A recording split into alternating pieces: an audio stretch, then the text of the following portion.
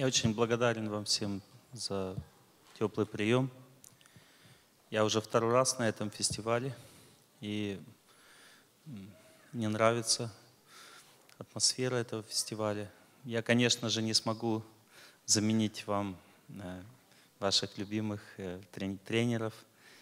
Э, ну, может быть, как-то смогу чем-то помочь этому фестивалю своими взглядами. Вот. Здесь также находятся мои наставники и лекторский, преподавательский состав, по моему мнению, очень высокого уровня.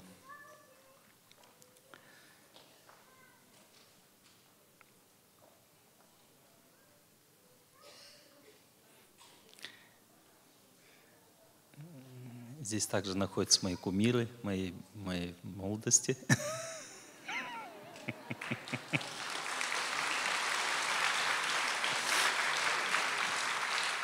Это удивительно. Мы начнем потихоньку.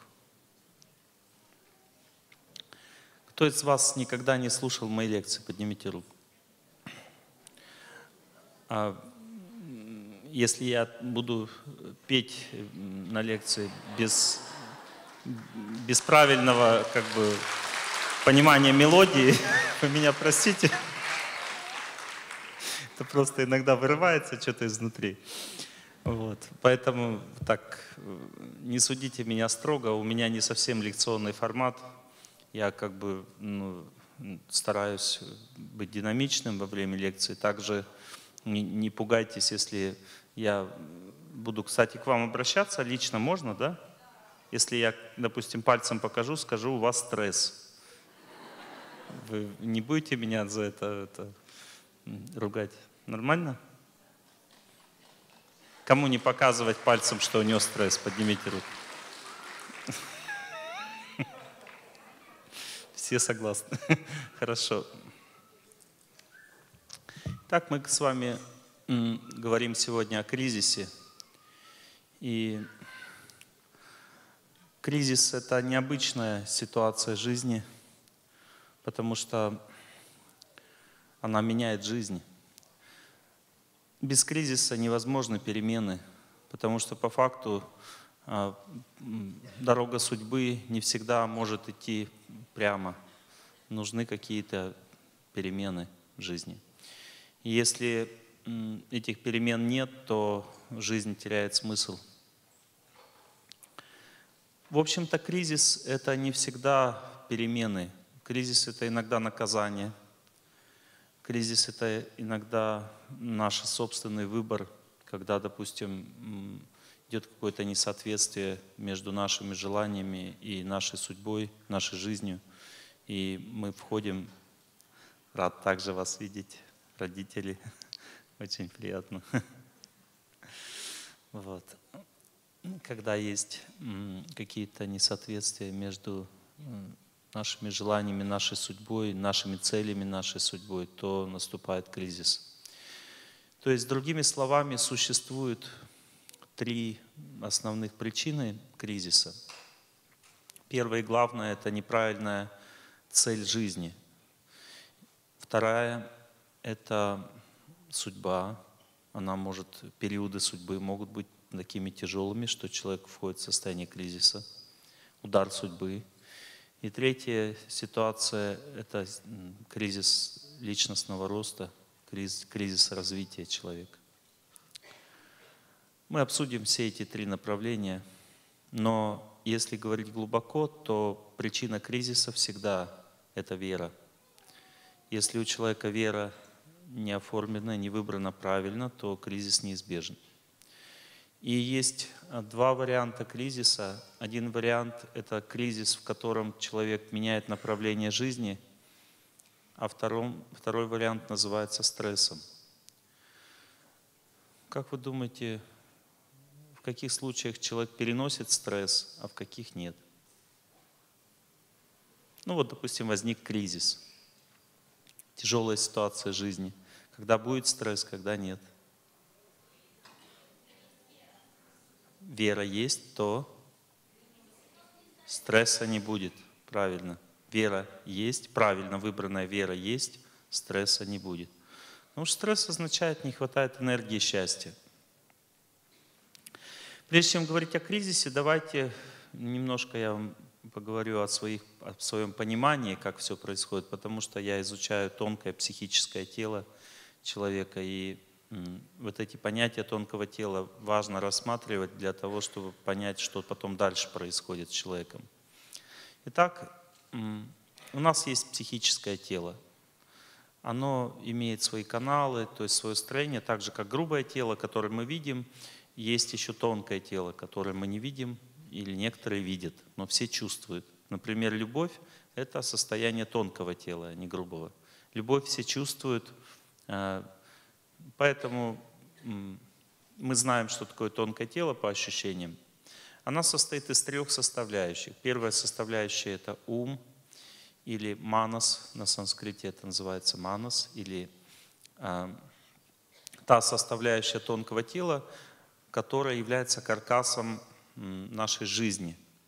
Дело в том, что в уме проходят тонкие психические каналы, которые питают все тело энергией.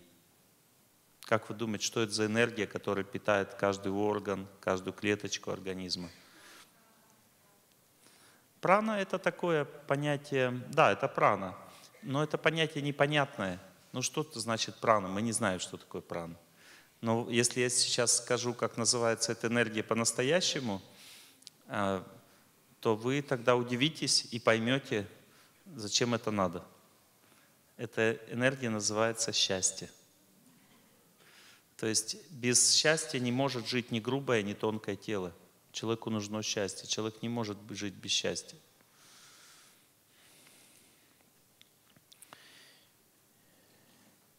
И ум — это психическая структура, которая через пять чувств, чувство слуха самое главное, потому что оно влияет на судьбу сильнее всего. Потом следующее чувство, чувство осязания самое влиятельное. Половое чувство связано с чувством осязания. Чувство зрения ближе всего к уму, то есть ум можно видеть человека через глаза. Следующее чувство – это чувство вкуса. Оно наполняет силой сильнее всего организм через пищу. Также психическая энергия приходит. И чувство обоняния ближе всего к грубому телу. Через него можно понять тело легче всего, через чувство обоняния. Например, а, понять, подходит пища или нет, яд или нет, можно только нюхая. Итак, у ума есть пять чувств, через которые ум получает энергию счастья, необходимую для организма. Есть также разум. Разум – это психическая структура, которая помогает уму получить энергию счастья. Разум соткан из знания. Знание дает возможность понять, где счастье – Все, любое знание предназначено для счастья. Например, человек в институте учится для того, чтобы получить диплом. Это дает ему возможность работать, получать деньги. Деньги дают счастье. Ну, то есть человек учится для того, чтобы получить счастье в конечном счете. Он использует разум для этого. Для того, чтобы учиться, нужно тренировать разум. Разум у детей очень слабый, но он очень быстро насыщается, склонен к насыщению. То есть дети имеют свой разум слабый, но способность обучаться очень высокую. Взрослые люди имеют достаточно сильный разум, те, кто его развивают, или слабее разум, но у них разум уже сформирован. Пожилые люди могут терять разум, если они не стоят на платформе разумного существования. Таким образом, разум — это сила, которая дает возможность наполнять ум энергией счастья с помощью знаний. Нацеленность на счастье называется вера. Решимость – это способность достигать счастья.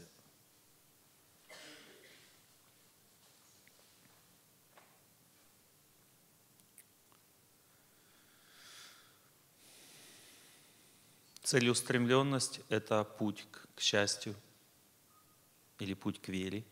Все эти понятия решимость, целеустремленность, вера, все они связаны с разумом. Они находятся в разуме.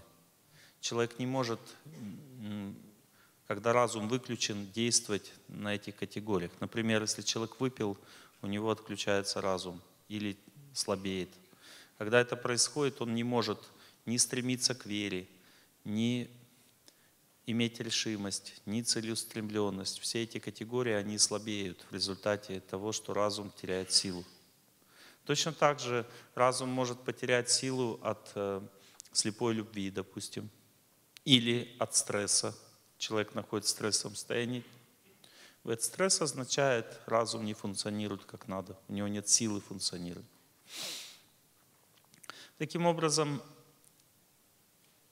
когда человек ослеплен каким-то фактором, то возможность получать дополнительное счастье отсутствует у человека, потому что разум работает слабо.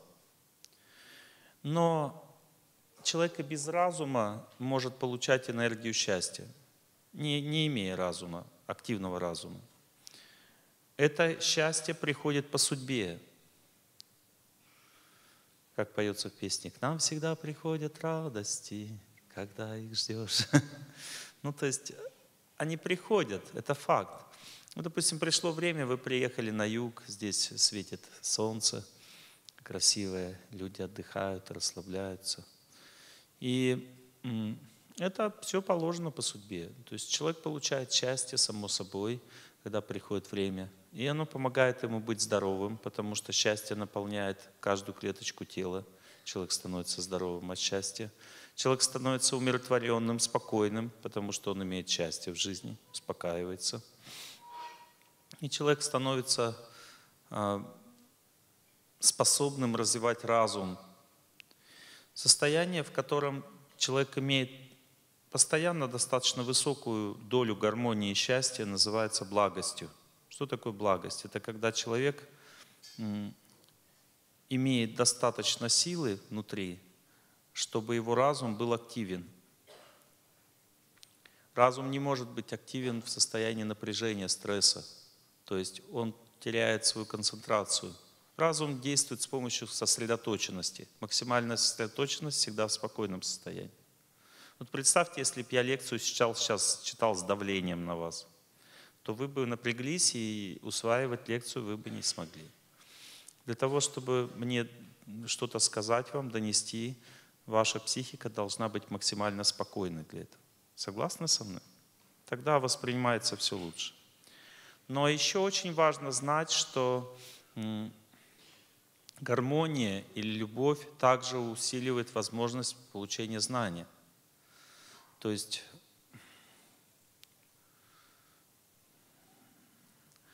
То есть любовь, в конце концов, является той силой, которая развивает личность, развивает человека. В конечном счете любовь развивает человека. Любви мешает боль. Есть боль, которая возникает от отношений. Она мешает любви. Боль возникает от того, что мы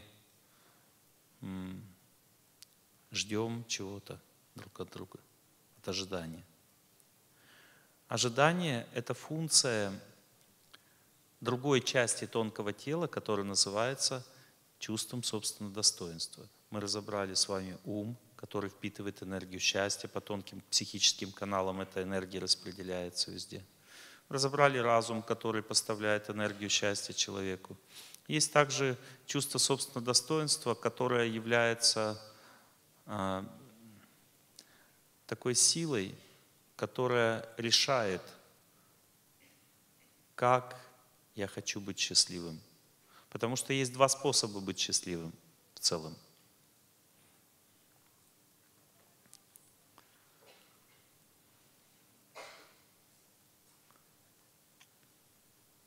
Как э, черепаха тортила, когда Дуримар в ней спросила о золотом ключике, она ему сказала в фильме вот, она ему сказала, говорит, ты мне скажи, чего ты хочешь.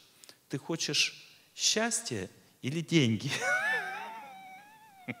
И Даримар ответил, ты, ты меня, говорит, лучше э, скажи, сколько весит этот золотой ключ, сколько в нем золота. них такой разговор состоялся. Вот, понимаете, это счастье или деньги, это направленность чувства собственного достоинства. Или чувство собственного достоинства хочет счастье себе, или хочет отдавать счастье. Это две принципиально разные позиции жизни человека.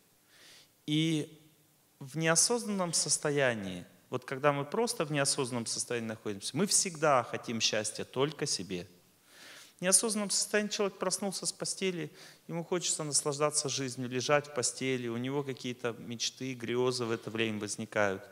Молитва совсем другое дело. То есть, когда человек в молитве находится, он побеждает в себе желание счастья для себя и полностью или частично побеждает, и начинает служить в своем сердце другим.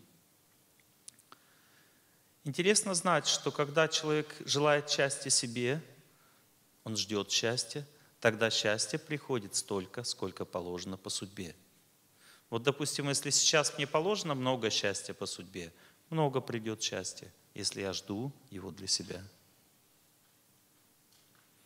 Но если человек служит, находится в настроении служения, то чем больше он служит, тем больше ему приходит счастье, и это счастье не по судьбе. Оно может усиливаться бесконечно.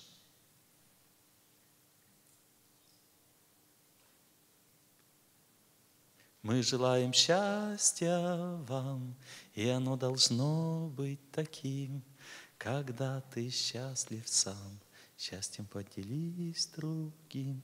Вот эта вот деятельность истинного эго, то есть есть ложное эго, которое хочет счастья для себя, оно связано с разумом в невежестве. Когда разум спит, он не активен, то человек всегда думает, что он будет счастлив, если он получит счастье себе. Когда человек наполнен знанием и правильным пониманием вещей, это говорят все священные писания, не только веды, то разум его активен в это время, силен, и с помощью этого разума человек направляет свою силу для того, чтобы подарить счастье другим. В таком состоянии счастье возвращается назад без всякого сомнения. В конце концов, энергия счастья идет от сфер души. Веды говорят, что на дереве тела, то есть внутри тела, существуют две силы. Одна называется сфер душа или голос совести, как мы говорим, правда человека, внутри человека есть правда. Эта сила называется сверхдуша или парам атма, высшая атма. Есть парам атма, высшая атма. А есть атма или душа. Душа находится спереди, сверхдуша сзади. Душа стремится получать счастье от этого мира, наслаждаясь этим миром. Но когда душа поворачивается к сверхдуше, это называется внутренняя жизнь взгляд внутрь, то в этот момент человек получает другой способ существования. Он воспринимает себя как того, кто хочет отдавать, а не того, кто хочет брать. Этот мир нас настраивает на то, чтобы брать. Но э, сверхдуша или совесть настраивает человека на то, чтобы отдавать.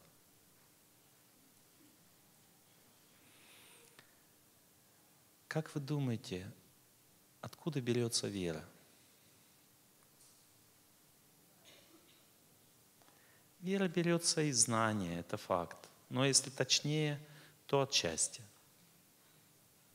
Человек получает веру в то, что дает ему счастье.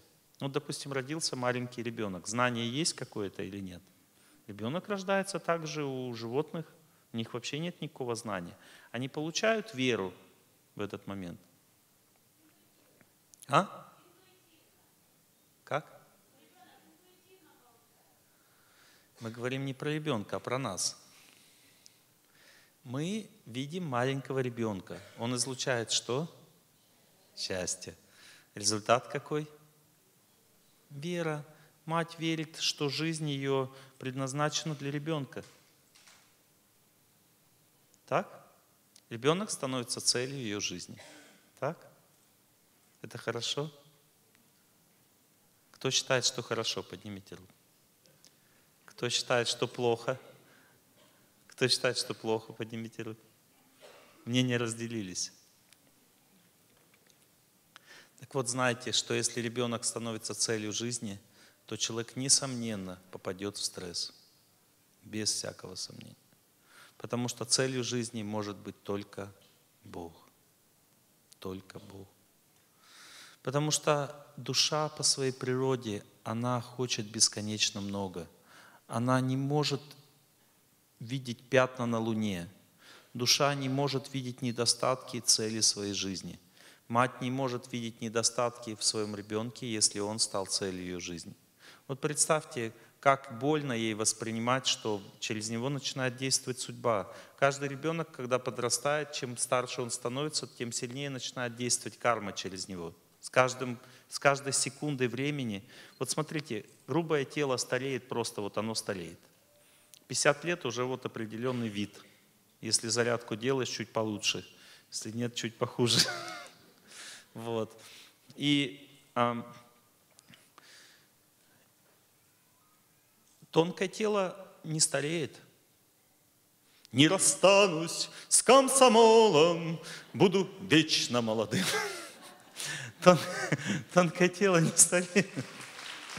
Оно меняется в своем состоянии. Психическое тело становится более напряженным с возрастом, потому что в единицу времени через тонкое тело с возрастом больше идет испытаний, чем счастье.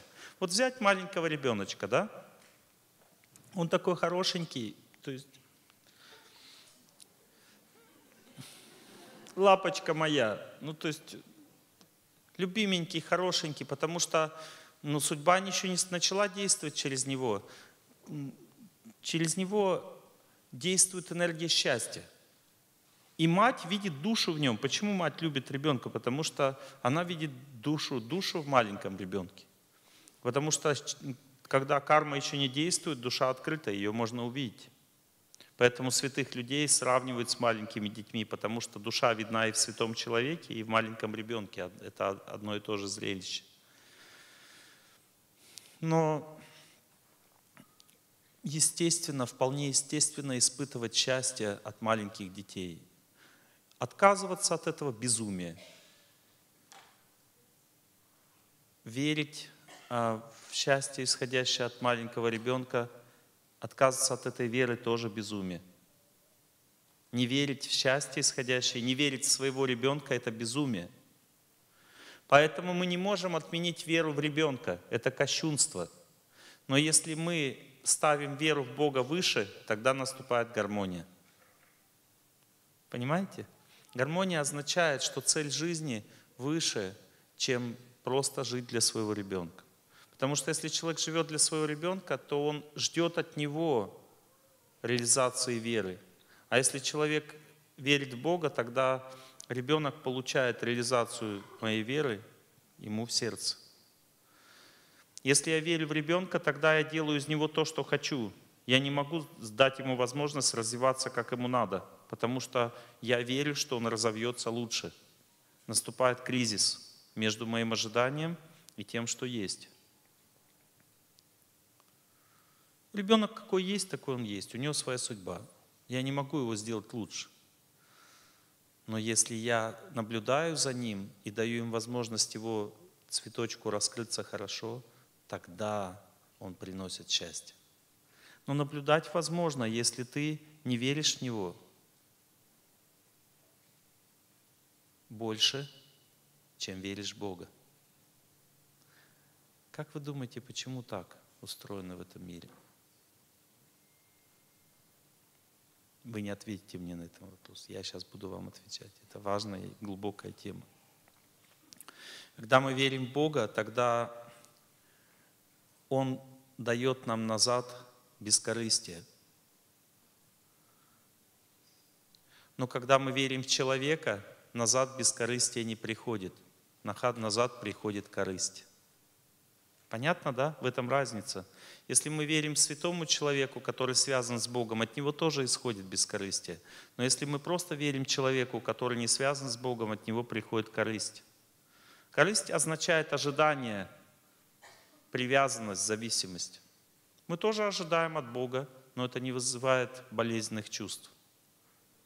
Ожидание от Бога вызывает светлое чувство. Но когда человек ожидает от другого человека чего-то, это называется привязанностью. Итак, любовь матери к ребенку бывает двух типов. Первый тип – это ожидание от него счастья, называется привязанность, приводит к страданиям.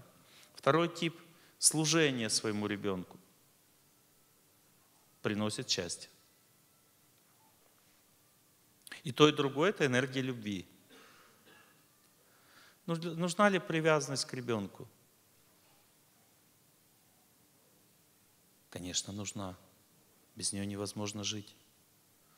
Но служение ребенку должно быть сильнее. Служение ребенку означает терпение. Вот, допустим, смотрите, привяжу такой, приведу, э, приведу такой пример. Например, вы, вы хотите воспитывать ребенка. Он напроказничал. Есть два варианта реакции, если вы к нему привязаны. Первый вариант – это разозлиться. Второй вариант – не обращать внимания. Остыть, отодвинуться от него. Но если вы, ваше желание служить Богу сильнее, чем ваше желание наслаждаться ребенком, то есть цель выбрана правильно – тогда в этом случае вы сможете наказывать его с добротой. Не со злобой, а с добротой. И даже не разговаривать с ним вы сможете с любовью. Потому что ожидание рождает вот эти два чувства, двойственность. Или я тебя люблю и балую, или я тебя мучаю и ненавижу. Понимаете, да? любить, привязанный, как мать привязанная, вот она привязана наслаждаться счастьем от ребенка. Она идет с ним вместе, гуляет. Он говорит, я хочу мороженое. До этого все было хорошо. То есть мы шли, у нас было счастье, гармония, и теперь наступает ситуация, которая называется кризисом. То есть он хочет мороженое, и оно, у него точно от этого заболит горло. Вот но если я ему не дам мороженое, то испортится настроение, потому что я же питалась энергией счастья от него, теперь счастье закончилось. Он будет капризничать сейчас, мучить меня. Но если человек служит ребенку, мучение не наступает. Он говорит, мой дорогой, а, я не дам тебе мороженое. Ребенок начинает капризничать, но на мать это не действует. Почему? Потому что она от ребенка ничего не берет. Или, ну, по крайней мере, старается не брать. Она больше берет от Бога. И в это время она просто молится и получает счастье от Бога уже. А от ребенка счастье ее не волнует в этот момент, когда он капризничает. И он начинает ее уважать, потому что он видит, что она не зависит от него. В результате мама становится мамой – ребенок становится ребенком, и он идет правильной дорогой. Итак, мы с вами говорим о правильно выбранной цели жизни. Видите, правильно выбранная цель жизни, жизни дает возможность легко воспитывать близкого человека. А привязанность чрезмерного к нему дает болезнь и страдания.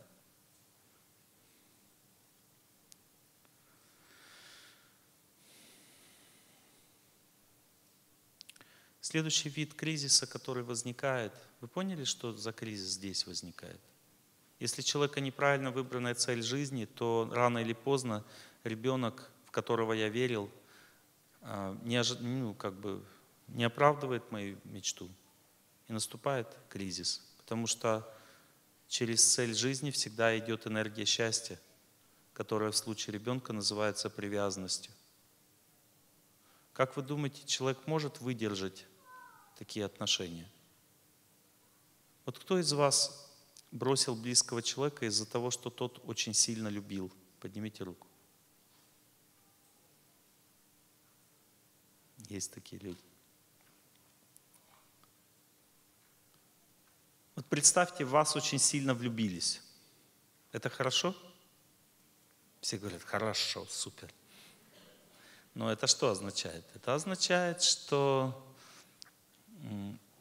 он будет постоянно питаться энергией вашего счастья, будет приковывать к себе внимание постоянно, требовать, чтобы вы были с ним. Я хочу быть с тобой, я буду с тобой. Как Цой.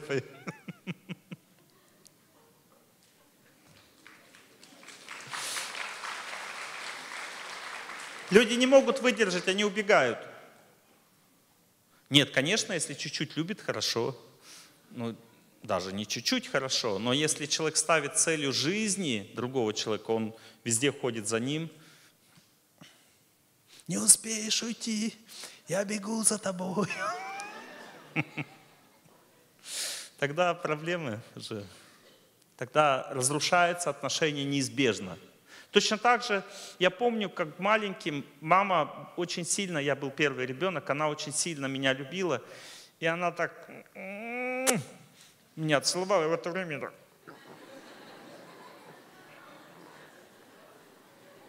Я как бы был не против, в общем-то, был не против, но как-то тяжело. Точно так же и сейчас мама звонит. Олежек, сколько дней поездка? Я говорю, мама, неделю. Ты сможешь выдержать, все нормально, здоровье нормально. Мама, нормально. Тяжело.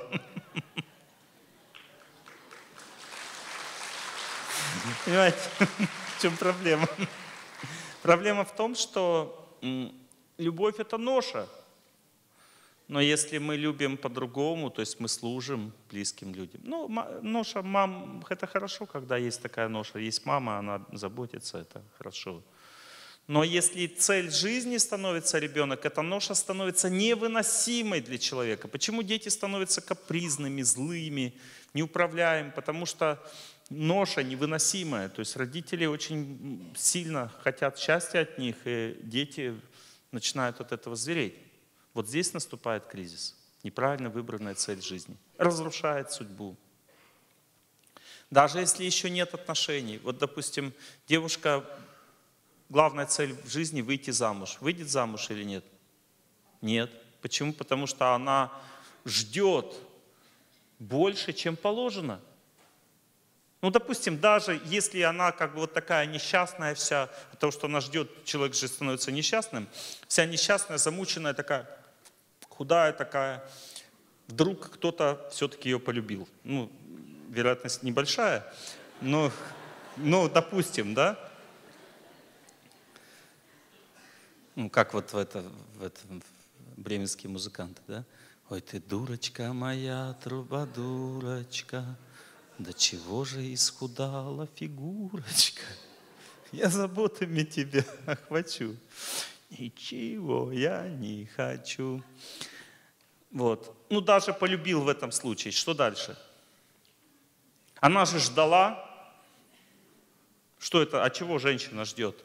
Она живет, ждет ласки, внимания, заботы, чтобы мужчина думал только о ней. Вот представьте, она этого ждет. А он же не Бог, правильно? Он не может только думать о ней. Она ему говорит, нежнее говорите со мной. Еще нежнее. Ласковее. Куда посмотрел? Назад. Сюда.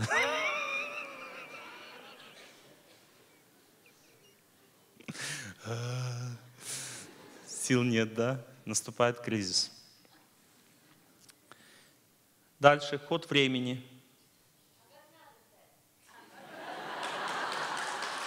Кто спросил, где девушка, где? Надо только выучиться ждать.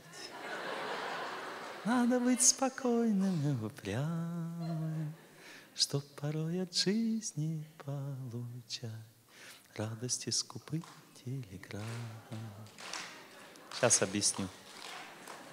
Надо ждать без ожидания.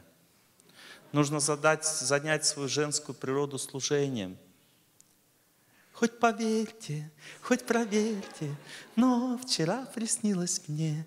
Помните Золушка, она всем служила, заботилась, ее там ругают, она прощает. Понимаете, когда женщина свою женскую природу занимает всем, она обо всех заботится, она становится румяной, красивой, жизнерадостной. И тогда невозможно уже отказаться от отношений с таким человеком. Она перестает ждать тогда в этот момент. Потому что она счастье испытывает от отношений уже тех, что есть. Она семью создает в отношениях свою. Женщина нуждается только в личных отношениях. И она становится счастлива в этих отношениях. Но цена — это молитва. Потому что без молитвы, без корыстия не дождаться. А когда человек ждет, он не может отказаться от ожидания. Это замкнутый круг, понимаете? Вот если, допустим, кто-то на вас посмотрел, как надо себя вести? Вот представьте, если вы так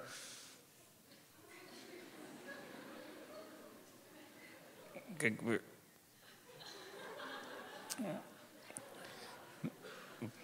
ну вообще, я просто говорю, ну, девушка дождалась, посмотрели. И как бы не надо на рыбалке сразу дергать, понимаете? Сорвется. Особенно если рыба, рыба большая, крупная, крупняк попался, надо ждать. А ждать невозможно, если ты привязан.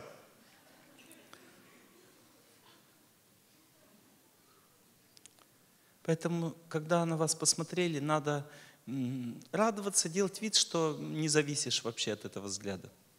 Можно отвернуться даже.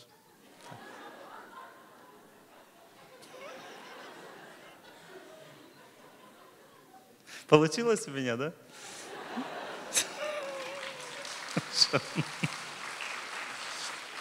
Ну ладно, эту тему обсудили. Ход времени или влияние судьбы приносит кризис в жизни. Это больная тема. Понимаете, мы что-то сделали в прошлом, в своей жизни, в прошлой, где-то в этой, может быть, и приходит наказание – оно приходит, не спрашиваясь, хотим мы этого или нет. Это может быть тяжелая болезнь, может быть война, вот как сейчас на Донбассе. Это может быть э, просто работу потерял, власть потерял, влияние потерял. Человек что-то теряет в своей жизни. Так действует время. Неожиданно, не спрашиваясь, время приходит и делает кризис. Человек при этом может э, иметь правильную веру. Как вы думаете, бывают болезни у возвышенных людей? Бывают. Бывают э, кризисы у возвышенных людей. Бывает. То есть, понимаете, вот ход времени он не спрашивает, правильно выбранная цель, неправильная выбранная цель. Но если у человека правильно выбранная цель, если он верит в огромную силу, огромный резервуар счастья, Бога сравнивают с солнцем – тогда кризис переносится, то есть экзамен сдается. Ход времени не может сломать человека, который имеет силу. Допустим, один мой знакомый сейчас заболел раком четвертой степени. Ну, мы там начали его лечить по-своему. Это лечение все равно не может такую степень рака вылечить. Вот. Но я посмотрел, как он удивительно среагировал на ход времени – то есть он начал по определенной методике с огромной решимостью начал вылечиваться. Он начал молиться и делает, держит пост. Один день сухое голодание, потом один день выход, один день отдых, потом два дня сухое голодание, два дня выход, два дня отдых, потом три дня сухое голодание. И вот так он живет. Потом опять два дня, один день. И вот так он живет. Вроде бы кажется, что он должен худеть от этого, да? А он начал поправляться, представляете? То есть он просто душит болезнь своей внутренней силой. Причем интересно знать, что если человек во время сухого голодания думает о еде, то все будет разрушено. То есть его здоровье станет еще хуже, особенно если опухоль в организме. Единственный способ так лечиться – это забыть про себя вообще, жить в служении, понимаете? И тогда человек в это время, он болезнь сгорает просто. Ну, опухоль не может жить в теле, когда человек такую аскезу держит, потому что организм начинает ее съедать просто. Я как пример привел ну, человека, который имеет силу побеждать судьбу. Видите, ход времени может начать ломать человека, но если у человека есть вера, тогда ход времени побеждается с помощью энергии счастья, которая идет от веры. Ход времени забирает счастье просто. Разные способы есть как ему это сделать. Есть много способов. И несоответствие между желаниями и возможностями. Допустим, юношеский возраст. У девушек часто бывает. Хочется быть красивее, чем есть. Хочется нос переделать, щеки переделать, все переделать. Э, ну, вот как есть, так есть. Какое тело Бог дал, такое дал. В это время тоже нужна вера. Потому что когда человек видит, что он не может достичь того, чего хочет, он не может без молитвы жить. Он начинает что-то терять в своей жизни. Я не буду сейчас подробно говорить о стрессе и о том состоянии, которое человек испытывает в это время. У нас немножко другие цели, задачи. Я сейчас поговорю о вере, потому что вера является силой, которая выводит человека из кризиса. Кризис возникает неизбежно, потому что дорога судьбы никогда не бывает прямой. То есть она куда-то всегда поворачивает, это неожиданно происходит в жизни. Мы не можем гарантировать себе, что близкий человек будет всегда со мной, даже если он верный. Он же может уйти из жизни, может все что угодно в этом мире произойти, мы не можем прогнозировать ничего в полной степени. Но если человек имеет веру, то есть у него есть сила, соединяющая его с источником счастья, тогда он выживает. Давайте сейчас отвлекемся от веры в Бога. Думаю, что вряд ли у нас это есть в полной степени. У нас нет реально в полной степени веры в Бога. Понимаете, это очень высокий уровень сознания, развития личности, когда человек действительно это имеет. Потому что выйти из стресса просто с помощью молитвы – это удел немногих возвышенных личностей. Я вам сейчас более развернуто как бы на эту тему хочу поговорить с вами. И хочу вам сказать, что не надо отказываться нелепо или слепо от той веры, которую ты имеешь. Есть два типа веры, которые помогают человеку в жизни. Естественная вера, которая приходит по судьбе. Это естественная вера. Обычно это вера в ребенка, вера в природу, вера в близкого человека, понимаете, это естественный тип веры, который приходит по судьбе. И есть другой тип веры, который тяжелейшим трудом, внутренним отчаянием, молитвой человек вырабатывает в своей жизни. Вот представьте, если тяжелейшим трудом, внутренним отчаянием мы вырабатываем веру во Владимира Ильича Ленина. Ну какой смысл? Какой результат? Ленин всегда живой, Ленин всегда со мной. Идут пионеры, привет, и лечу. Идут э, комсомольцы, салюты лечу.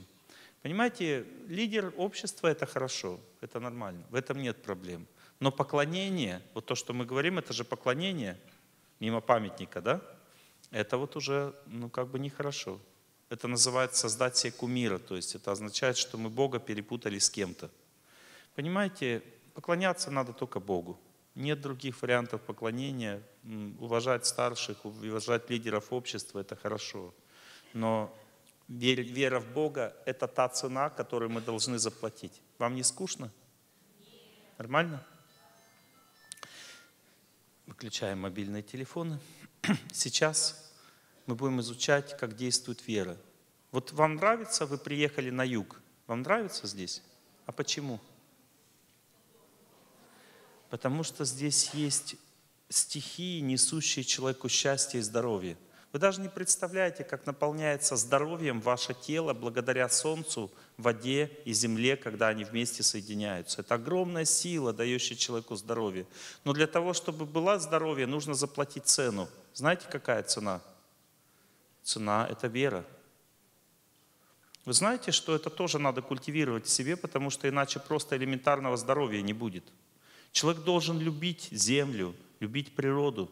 Понимаете, любить означает вступать в гармонию. Эта вера нужна. Развитый человек имеет разные виды веры. Понимаете, он способен верить в то, что дает ему возможность жить, побеждать судьбу. Но самая главная вера – это та вера, которая все победит. Это вера в Бога. Давайте сейчас с вами немножко окунемся в веру в природу. Хотите понять, что это за вера? И заплатить цену, да? Давайте. Так как я вырос на советских песнях, я... Нет, это не смешно. Тогда были хорошие, очень чудесные песни, которые много раскрывают, много знания. И сейчас мы с вами, послушая одну песенку, сможем понять, что такое вера в природу. Я думаю, большинство из нас смогут понять. Я не буду сам петь, потому что я не передам веру своей песни, не передам. Но вот человек, который поет, Геннадий Белов, он сможет. На дальней станции сойду, трава по пояс, и хорошо с былым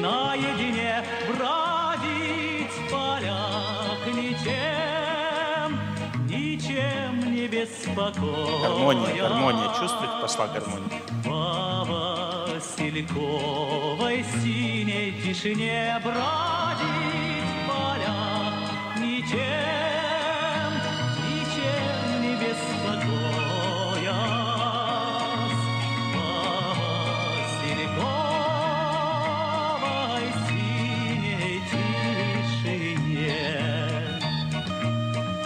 на дальней станции сойду.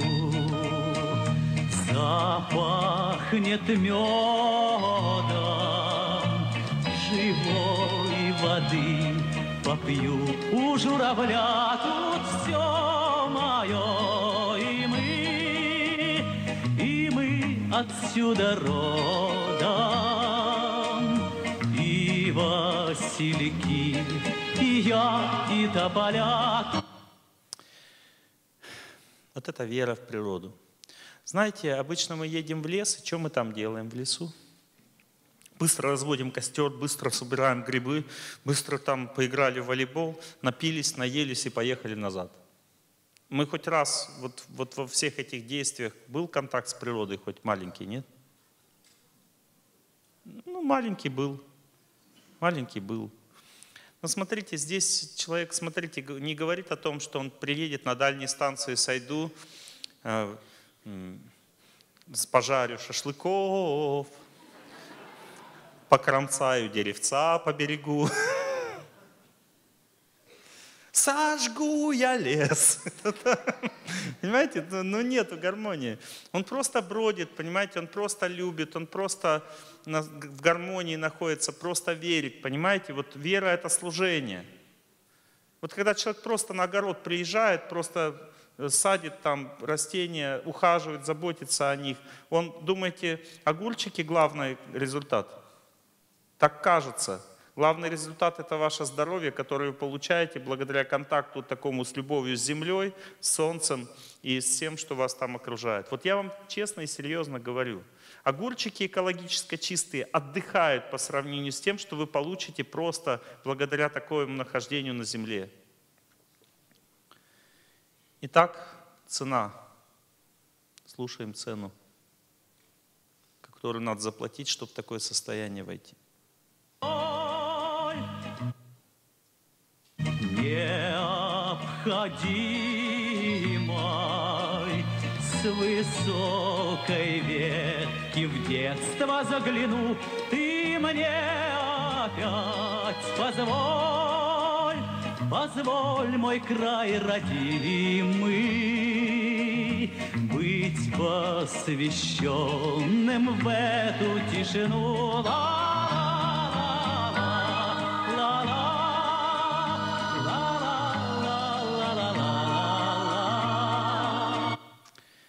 Так позволь, мой край родимый, быть посвященным в эту тишину. Вот когда в лес заходишь, хочется что-то искать там, да? Потому что работает ложное эго в это время. Хочется грибочки собрать, ягодки, э, сосенку взять с собой, чтобы вирусную инфекцию лечить. Но надо служить природе, служить, любить ее. Понимаете? Любить означает заботиться, радоваться. Просто радость – это тоже служение. Видите, необычное состояние. Мало кто в лес приходит просто, чтобы бродить в полях, ничем не беспокоясь. Понимаете, в основном все приходят что-то туда, оттуда урвать, но они теряют здоровье в этот момент. Если человек просто бродит в полях, желает счастья э, э, этому краю родимому, тогда он получает в ответ здоровье. Понимаете, это называется вера. И вера такая приходит в результате служения природе. Вот те люди, которые в деревне выросли, они служат земле, служат речке, служат птичкам там всем, понимаете? Они получают эту веру, и в результате они очень здоровые. Вот я сейчас живу в небольшом домике, вот, на земле, и рядом со мной живут э, по 80 лет бабушка с дедушкой. Они не болеют, они выросли на земле, служат земле, и земля им дает здоровье. Они реально питаются землей, они каждый день выходят, что бы то ни было, и зимой, и летом туда на огород, там возятся и получают здоровье от земли. Понимаете, как минимум, если вы хотите быть здоровым, самый эффективный способ для этого – быть посвященным в эту тишину. Умейте выходить на море просто на, на рассвете и постоять, помолиться, пожелать счастья морю, пожелать счастья земле, на которой мы живем. Понимаете? То есть надо учиться вот этому мышлению, у нас его нет. Пожелать счастья солнышку. Вот дети чувствуют это, они солнышко рисуют улыбчивым. Мы не можем, мы все просто неправильно принимаем и понимаем в этом мире. Мы с мобильником на пляже стоим, толку никакого нет.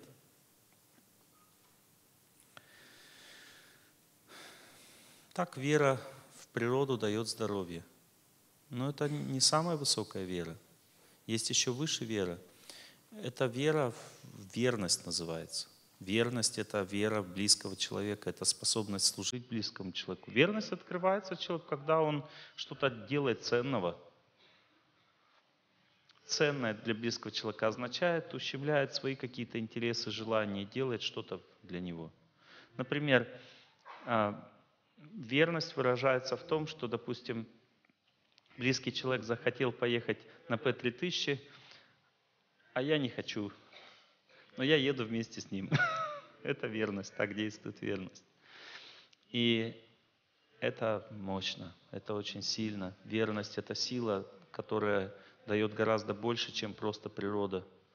Верность близкому человеку дает могущество человеку, огромную силу, способность побеждать, преодолевать трудности – верность близкому человеку – огромная сила спасающего человека в жизни.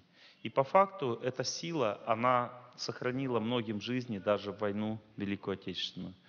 И чтобы почувствовать эту веру, этот вид веры, веры в человека, нужна вера в человека или нет? Обязательно нужна. Чтобы почувствовать эту силу этой веры, мы сейчас тоже послушаем другую, другого человека, другого человека, который сам это сначала на войне прочувствовал, а потом спел.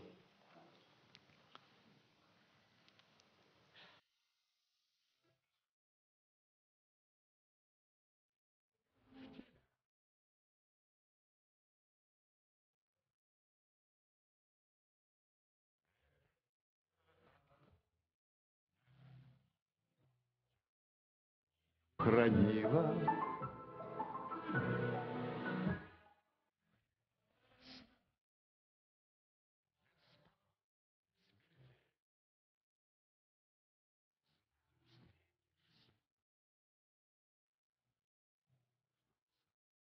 не случилось.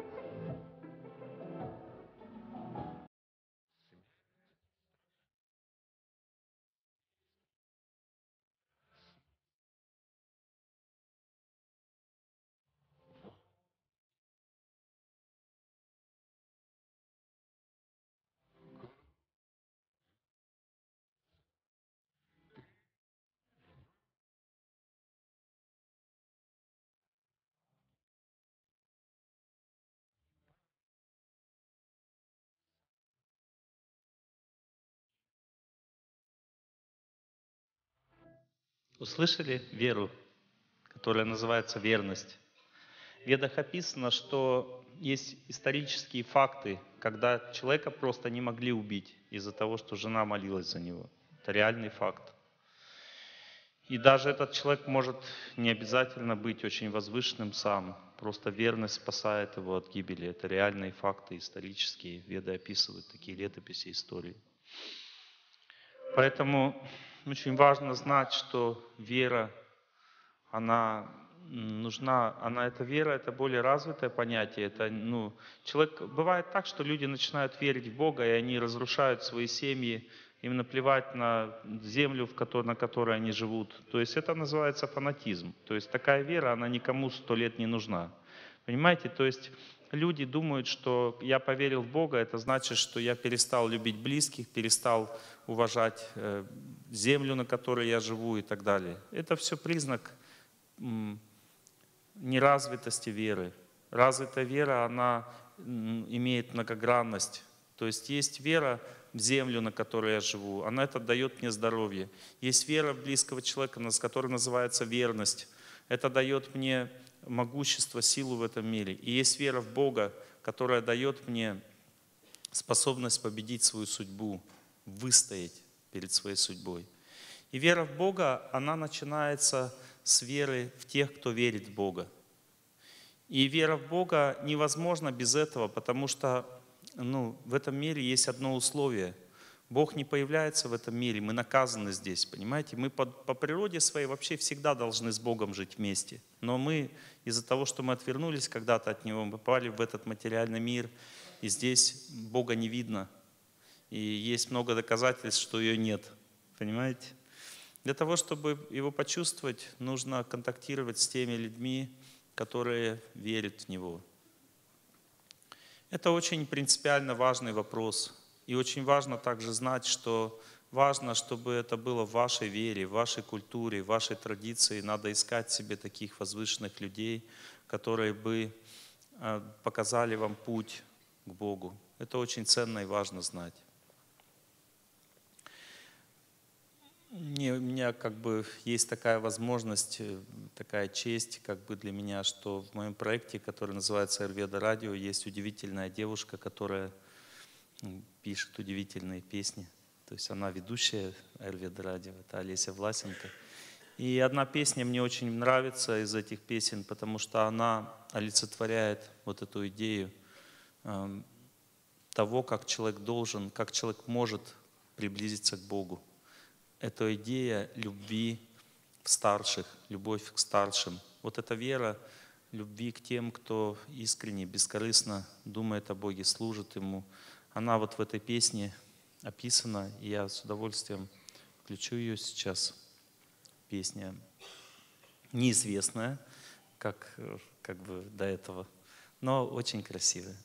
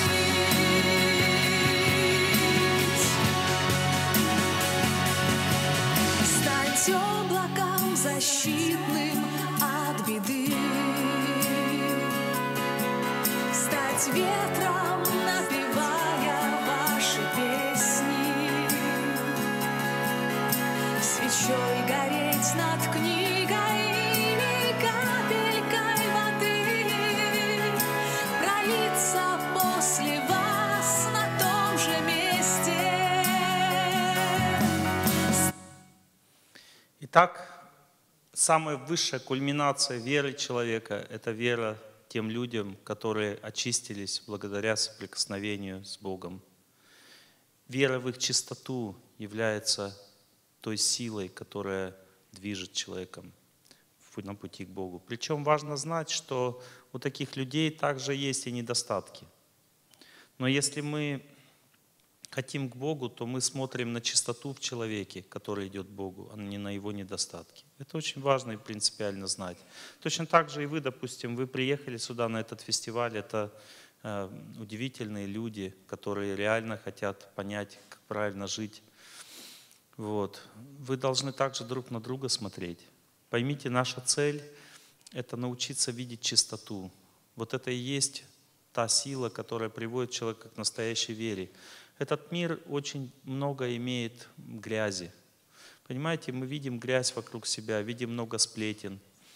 А, если вы слово Тарсунов наберете в интернет сейчас по висковике, вы обо мне найдете. Очень много грязи вокруг нас, но возможность приблизиться к Богу только через чистоту, только через возможность вот эту вот любить самое лучшее, самое светлое, чистое в человеке. Вот это дает возможность реально соединиться с той силой, которая побеждает любой стресс. Невозможно найти такой стресс, который бы не был бы побежден а, верой, связанной с Богом. И то, что я сейчас говорю, вы не сможете понять из моих слов. Только почувствовав сами, вы сможете это понять. Только почувствовав сами. Каждый человек, который находится в кризисе, страдает. Нет таких людей, которые бы испытывали счастье в этом состоянии. Но есть люди, которые сами идут в кризис для того, чтобы э, они, они знают, они хотят победы, как э, Лермонтов пишет, что буревестник в вот этом стихотворении, а он мятежный просит бури, как будто в бурях есть покой. Некоторые люди сами едут воевать там зачем-то, жизнь свою отдавать и так далее. Есть люди, которые э, ради веры готовы отдавать жизнь, и они испытывают огромное счастье от такой жизни. Но не обязательно для этого ехать на войну или искать себе приключений. Знайте, что в вашей жизни, обязательно в нашей жизни, мы эти приключения и страдания получим неизбежно. Ни один человек в этом мире не сможет прожить без кризиса. И если возникает такая ситуация в жизни, то э, надо понять одну лишь простую вещь, что если ты в это время не сосредоточил все свои силы именно на том, чтобы учиться верить, то кризис тебя сожрет. Не надо думать, что кризис всегда это путь к прогрессу. Кризис это экзамен. Кризис может сделать человека больным, несчастным, покалеченным. В психушку тоже попасть можно в результате кризиса. Понимаете, то есть есть много вариантов, как человек пострадает может, если он находится в кризисе. Все эти причины страдания означают только одно.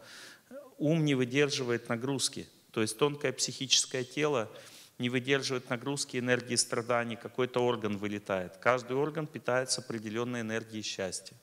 Сердце радуется искренности и верности. Печень радуется смелости э, и твердости характера.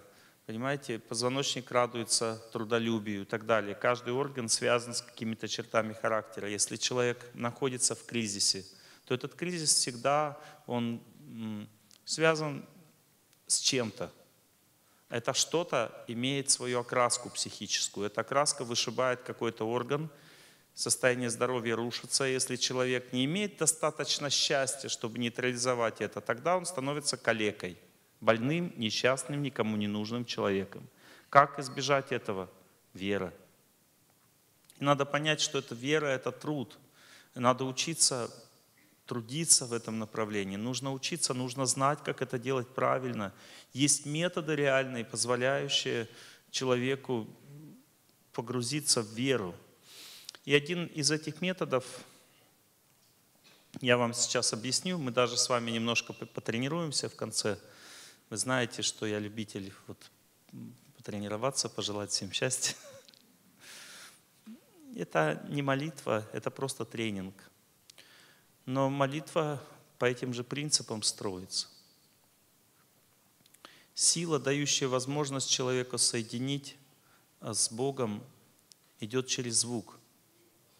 В древней культуре было такое понятие, как посвящение. Что такое посвящение? Если человек уже реально верит старшему или наставнику, то в этом случае наставник просто в ухо ему произносит настроение, с которым надо произносить молитву. Молитва всем известна, неизвестно настроение.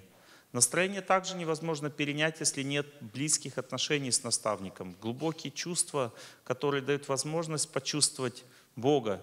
Настроение, или, как говорят, пхава на санскрите, она передает, ну, возможно, дает возможность связаться с Богом. Понимаете, если настроение правильное, чистое, бескорыстное, самоотверженное, тогда Господь сердце слышит нашу молитву, Он начинает отзываться. И вот это самое редкое, это самое редкое, потому что есть две причины, дающие эту редкость. Первая причина, что мы не стремимся к святости, мы в нее просто не верим. Вот если сейчас спросить, есть ли святые на земле сейчас, вы скажете, да, они раньше были, сейчас уже нет. Мало. Да на самом деле в каждом из вас можно святость найти. Потому что когда человек просто к Богу стремится, он уже имеет эту искорку святости и чистоты. И если мы с этой точки зрения будем воспринимать, э, воспринимать, что такое вера, тогда не искать никого не надо. Можно реально почувствовать чистоту, почувствовать Бога через каждого из вас – ну а если человек еще больше этой чистоты имеет, еще и больше имеет этой чистоты, представьте себе, насколько этот человек ценный. Неважно, насколько он имеет много грязи внутри себя. Важно настолько, насколько, то, насколько он сильно стремится к чистоте. Но есть такие люди, которые даже и грязи в себе почти не имеют. А есть такие, которые вообще не имеют в себе грязи. Представьте себе, что когда человек просто встает на этот путь, постепенно Бог его приводит к тем э, цветам его сада, которые мы даже смотреть недостойны. Святость — это тайна. Мы не можем увидеть святость, потому что мы недостойны. Едва ли человек просто так может почувствовать чистоту души другого человека. Едва ли. А вот если мы учимся этому через отношения с теми, кто уже есть, вот этот путь надежный. Но если мы хотим реально продвинуться в молитве, то нужно учиться у кого-то. Я не могу сказать, что этот метод, который я сейчас вам преподнесу, он классический. Но он классический для начала, для тех, кто хочет начать молитву. Сначала надо это делать с кем-то, и надо это делать с тем, кто реально способен это делать. Звук другого человека рядом, когда ты слушаешь молитву кого-то и делаешь так же, как он, тогда в этом случае, несомненно, человек перенимает ту силу, которая находится в словах этой личности. Но перенять силу возможно только в том случае, если ты это делаешь не для себя. Понимаете? То есть сила это такая штука, которая если идет внутрь человека, то она просто порвет его.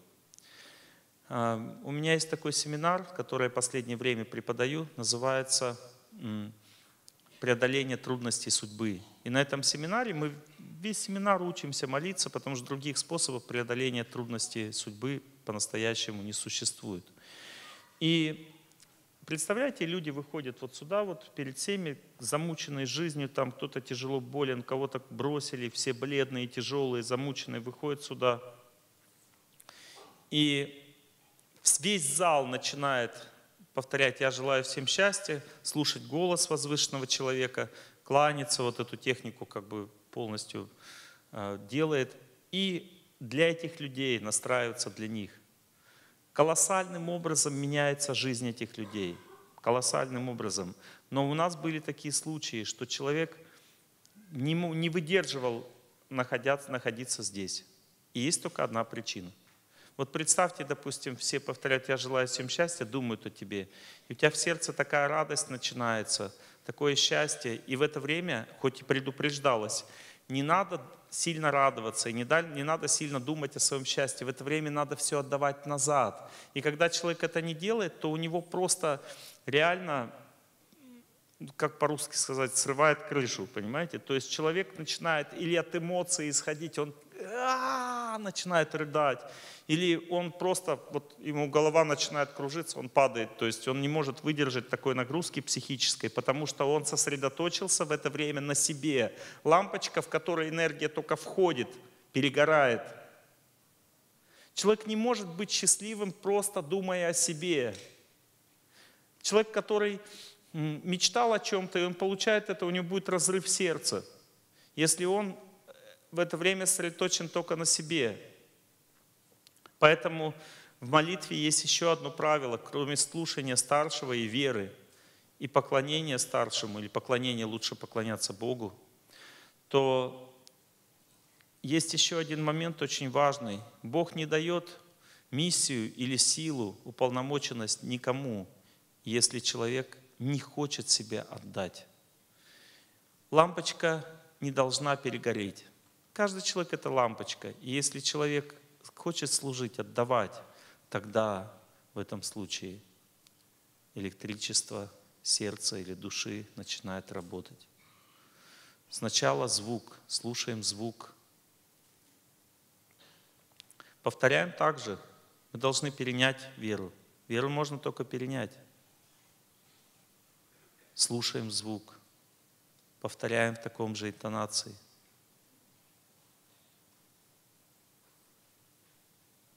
И я желаю всем счастья. Хотим отдавать. Важно также понять, что я желаю всем счастья, это не единственный способ отдавать.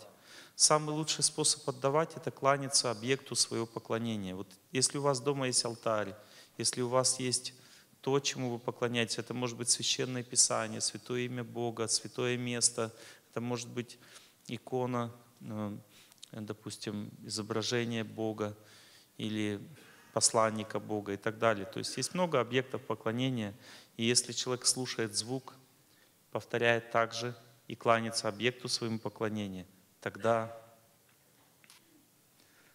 наступает замыкание цепи.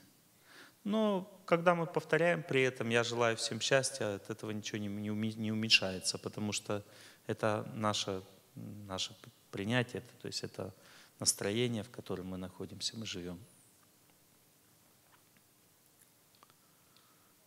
Хотите потренироваться? Какие препятствия? Рассказываю несколько препятствий.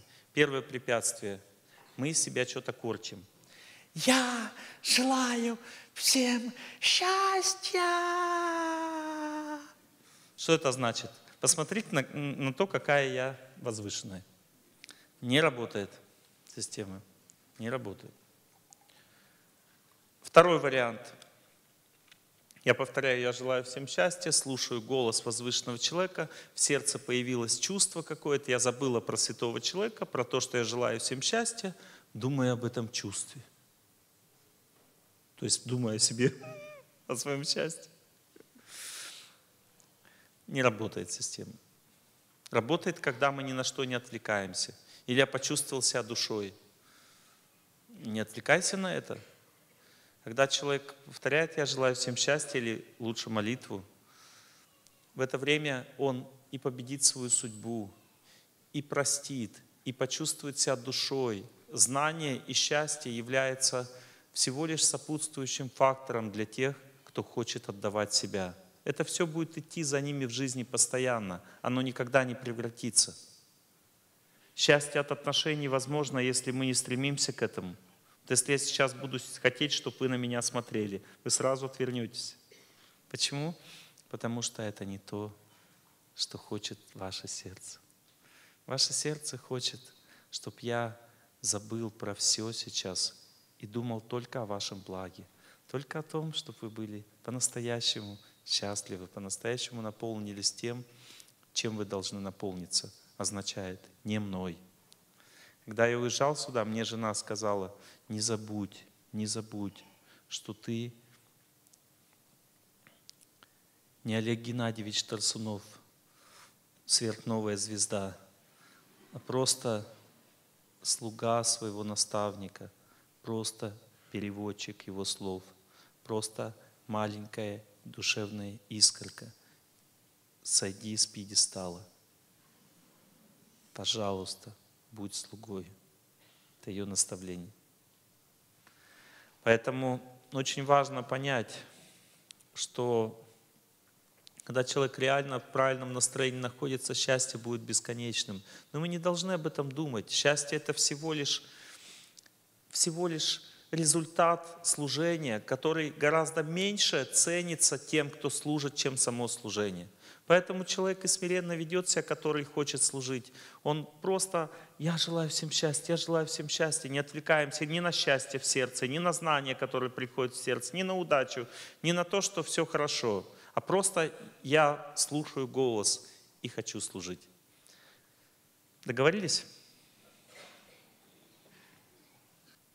А все остальные тоже счастливо настраиваются на монахов Спасо-Преображенского монастыря, слушают голос этих людей, кланяются объекту своего поклонения в своей вере и повторяют «Я желаю всем счастья». Мы это будем делать определенное время, а потом чуть-чуть еще обсудим. Все сели прямо, настроились на тренинг небольшой. Итак, смотрите, самое первое и важное. Начинаем со слушания. Мы слушаем сначала, повторяем «Я желаю всем счастья», не думая об этом, ни, никому пока не кланяемся, просто слушаем, пытаемся поймать эмоцию. Потом в этом же настроении начинаем повторять в одном ключе, все вместе, в этом настроении этих людей. «Я желаю всем счастья», я желаю всем счастья. И потом, когда у нас в сердце появилось чувство, потому что если вы настроитесь на эмоцию этих людей, у вас обязательно в сердце появится чувство, после этого надо вспомнить о объекте своего поклонения, это чувство отдать Ему. Вот то, что мы сейчас будем делать. Если вы будете делать правильно, первое, что появится в вашем сердце, спокойствие – Второе, что появится в вашем сердце после спокойствия, это ваши проблемы придут к вам, потому что они хотят счастья, проблемы хотят разрешиться. Мы нитями незримыми связаны со своими проблемами и своими близкими. Это сердце наше связано, потому что оно отдает счастье всем. Оно не только внутрь счастья отдает, также народу. Когда энергия счастья приходит, сразу же приходят мысли о том, на кого мы обижены там и так далее. Не отвлекайтесь на это тоже. Все будет разрешаться само. Не отвлекайтесь. Просто продолжайте то, что вы делаете. Станьте вот этой вот э, проводом с электрической лампочкой, которая потом будет все разрешать. И третье, что придет в ваше сердце, это знание о том, что вы можете победить судьбу. А четвертое, что придет, это способность вера, способность идти этим путем, чувство, что все будет в жизни хорошо. Ну, хотя бы до спокойствия надо дойти для начала. Не думая об этом, думая о служении. Богородице, Дева, радуйся, благодатная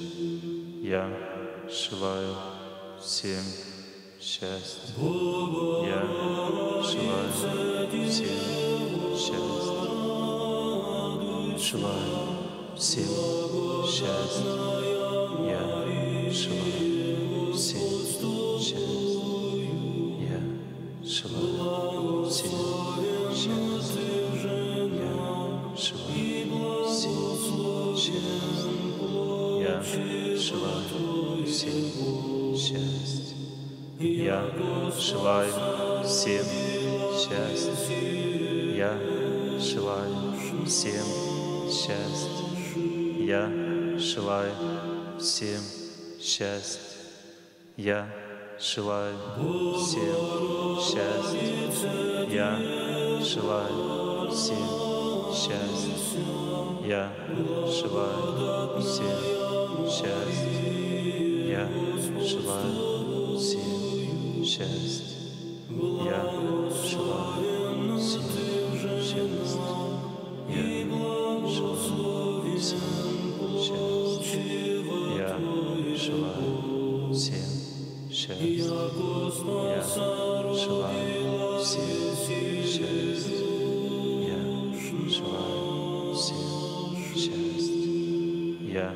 желаю всем счастья. Я желаю всем счастья. Я желаю всем счастья. Я желаю всем счастья. Я желаю всем счастья. Я желаю всем счастья. Я желаю. Я желаю всем счастья.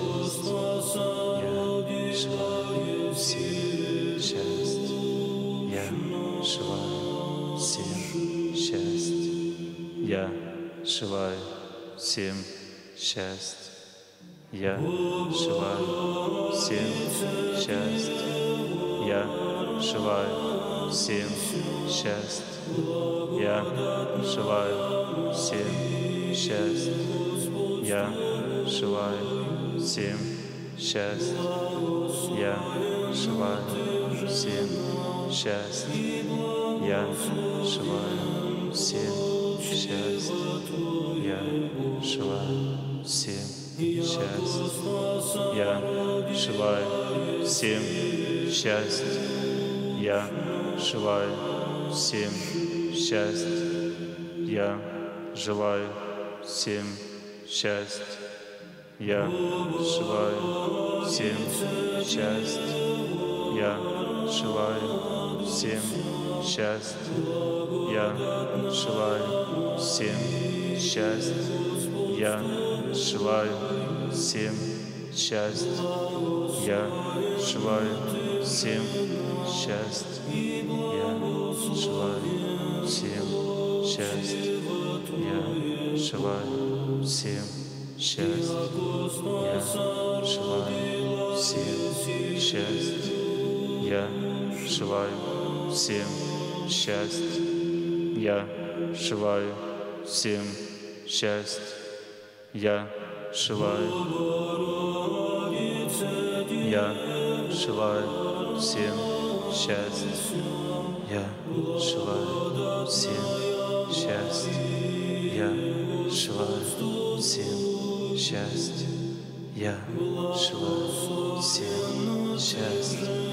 Я желаю всем счастья. Я желаю всем счастья. Я желаю всем счастья.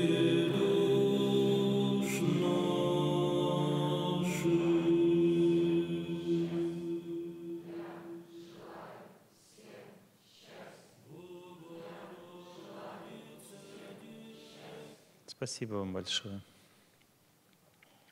Наше пожелание всем счастья с точки зрения самочувствия, ощущения имело определенные этапы. Сначала мы вдохновенно все включились в этот процесс, потом постепенно кто-то начал, начал чувствовать усталость от него, а кто-то начал чувствовать погружение и вдохновение. Поднимите руку, кто начал чувствовать зевоту, усталость, напряжение, трудность. Это нормально. Это означает, что вы недостаточно слушали голос или не поняли эмоцию.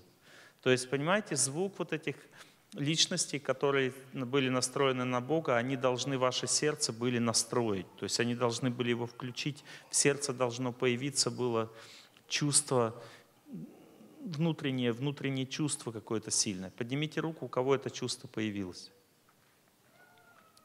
А теперь поднимите руку, кто из вас, у кого появилось чувство, забыл обо всем, начал думать об этом чувстве. Нормально.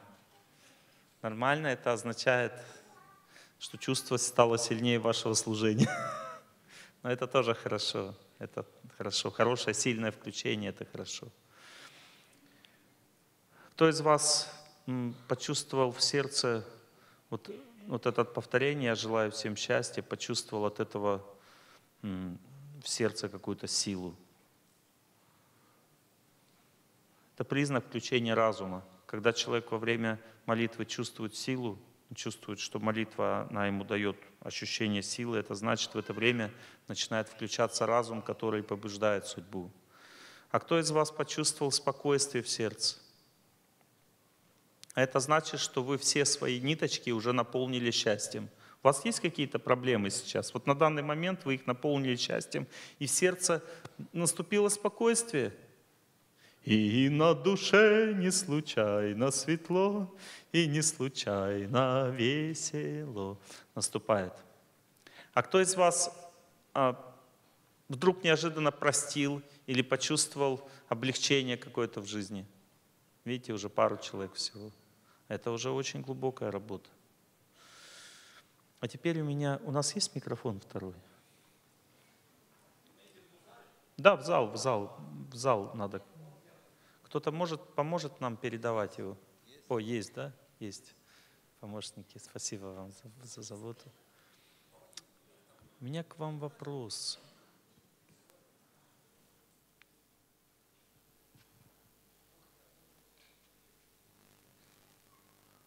А вот кто из вас хочет поделиться не эмоциями, которые у вас возникли в это время, а поделиться своим пониманием процесса, и, может быть, в это время вы даже зададите какой-то вопрос. Вот мне бы хотелось услышать человека, который бы рассказал подробно, что он делал последовательно и как у него получалось. Кто-то может такой анализ внутренний провести? Вот женщина первая подняла руку. Вот на, да, ага. Вот, пожалуйста, да. Я угу. попробую. Давайте. Ага. Меня Татьяна зовут. А, у меня появилось чувство. Погромче. Это, у меня появилось это чувство внутренней наполненности. И От здесь, чего? Вот что вы начали? Сначала что вы начинали а, делать? Я просто слушала голос. Так, вы на этом сосредоточились. И в это время что вы почувствовали? Эм, ну, возвышенный очень голос, очень приятный. Ну, не знаю, как-то я не просто вот ручку-то вы куда поставили? А? Ручку вот вы свою ну, поставили вот сюда. Это очень, сердцем слушать, это очень важно знать. Вот что она сейчас до нас донесла. Что в тот момент, когда человек реально слышит голос, что происходит с человеком? Вот здесь вот это чувство появляется вот здесь. Сердце, тебе не хочется покоя Сердце, как хорошо на свете жить. Сердце, как хорошо, что ты такое. Спасибо, Спасибо. сердце, что ты умеешь так любить. Вот здесь? Да. Или я ошибаюсь? Нет, право здесь. Она показала рукой. Ага. Так, дальше. Здесь, угу. Потом я ну, начала повторять со всеми, я желаю всем счастья. И, конечно, начала чувствовать наполненность в груди, в сердце. И, как вы предупреждали, тут же начали появляться всякие проблемные мои ситуации вокруг, которые требовали внимания им. Вот я изо всех сил старалась, ну не то, что не думать об этом, а идти дальше. Но нет, нет, неправильно. Надо, надо в это время включиться в слушание. Все преодолевается с, с помощью слушания. То есть вы слушаете звук возвышенных людей, вы фактически предаетесь этому звуку. И потом я желаю всем счастья, как они. И эти проблемы начинают рассеиваться. Вот такая техника.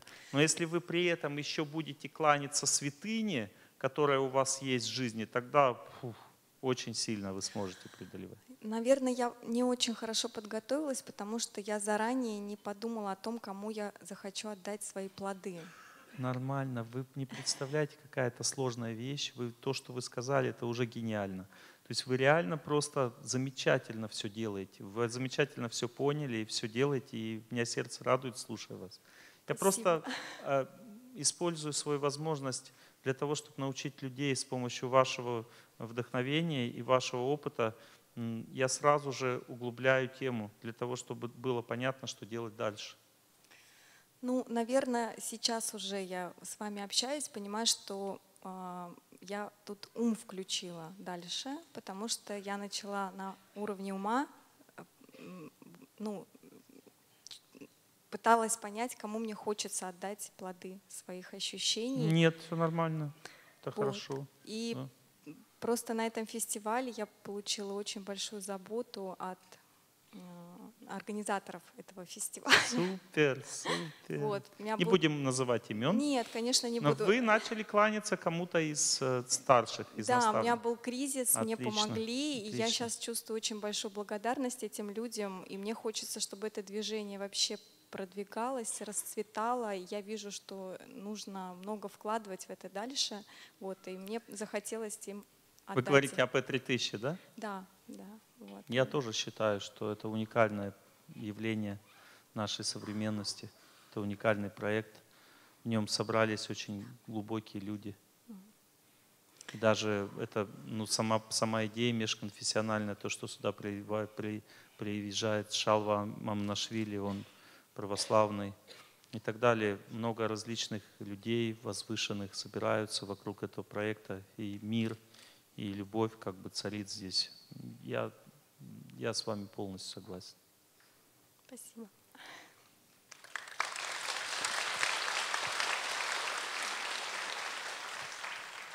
У нас еще есть время. Еще что-нибудь скажете? Или вы уже все сказали? Да. Но вы, вы, ну, и самое главное, это не вы сказали, вы начали поклоняться. И Да. что тогда? Что тогда? Ну, просто мне нравилось это делать. То вы есть, э, почувствовали счастье, да? вы начали в конечно, этом процессе конечно, жить, конечно. и вы забыли про все остальное, да? Ну, мне было это сложно сделать, у меня постоянно мой ум отвлекался, и у меня были куча всяких проектов, как помочь моей маме, как помочь моим близким. Но это было очень тяжело делать, и я постоянно перенаправляла ну, вот то, что мне действительно Потому хотелось сделать. Но у меня были отвлекающие маневры, скажем Проблема так. заключается в том, что мы хотим сами помочь, понимаете? В этом наша проблема, что мы верим в свои силы. Когда человек слушает и отдает, тогда вера переключается. Когда вера в Бога начинает действовать через наше сердце, помощь приходит лучше. Понимаете? Как молоды мы были, как искренне любили, как верили в себя. Первый тайм мы уже отыграли и всего лишь успели понять всех друзей. Мы уже потеряли, постарайся себя не терять. Вера в себя хорошая штука, но она не помогает, понимаете? То есть она не дает той силы, которая побеждает судьбу. Нужно верить э, в Бога, учиться. Это трудная вещь. Вот вы сейчас эту учебу как бы в своем сердце представили. Я вам очень благодарен за это. На самом деле у вас все завершилось.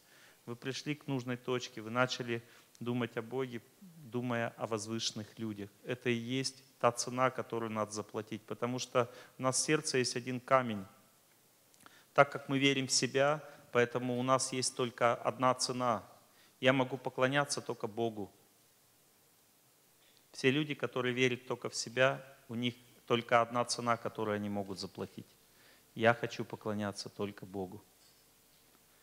А если человек побеждает веру в себя, тогда он знает, что надо учиться служить тем, кто идет за Богом. В Господь сам говорит, я бесконечно люблю тех, кто служит не мне, а тем, кто служит мне. Понимаете, да? Это признак смирения и настоящей духовной силы. Ваше, ваше понимание правильное, вы идете правильным путем. Всегда, когда вы настраиваетесь на то, что вы кланяетесь какому-то человеку, всегда думайте в это время о его вере в Бога. Иначе это может стать друг, другой стороной медали. Понимаете, когда мы поклоняемся человеку, то нужно думать о его вере в Бога, тогда вы не сделаете из него идола. Понимаете? Мы кланяемся Богу фактически, который живет в человеке, в его вере. Понятно, да? Потому что веру тоже дает Господь.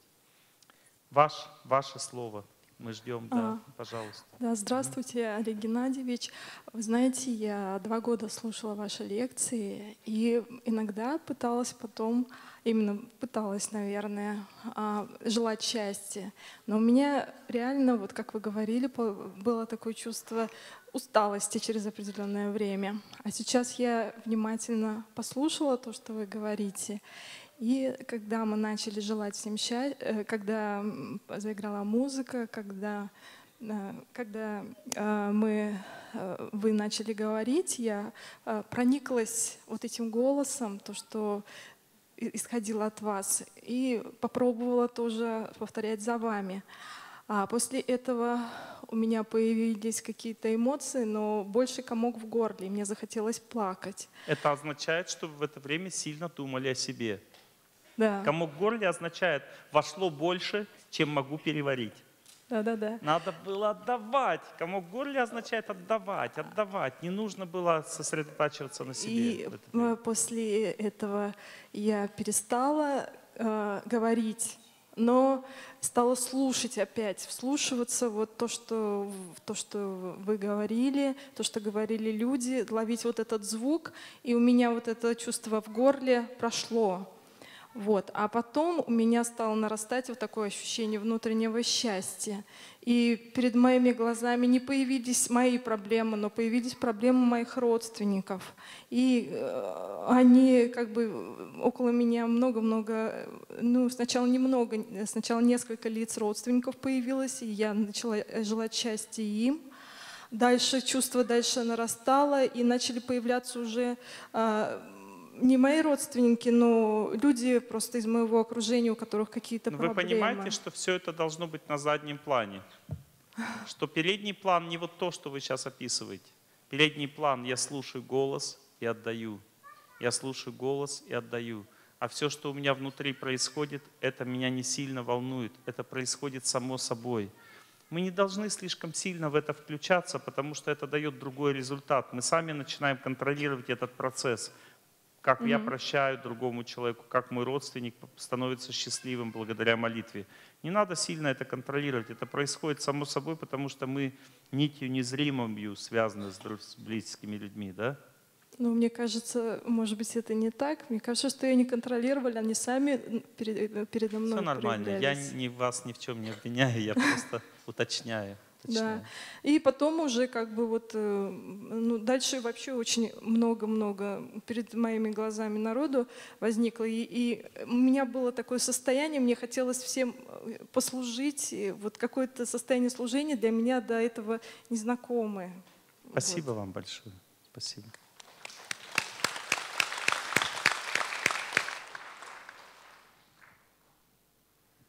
Так, мы с вами сегодня много чего изучили.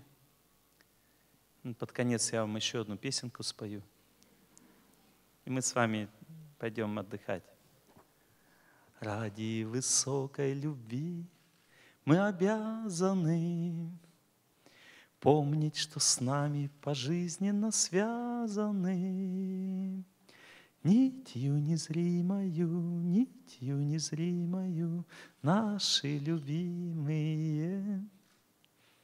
Если вы будете верить святому человеку или верить Бога, то такая же нить незримая вас свяжет и с ними. И эта нить незримая вырвет вас из вашей судьбы, из этого материального мира и отправит вас в духовную обитель, где нет страданий. Спасибо вам всем. Спасибо.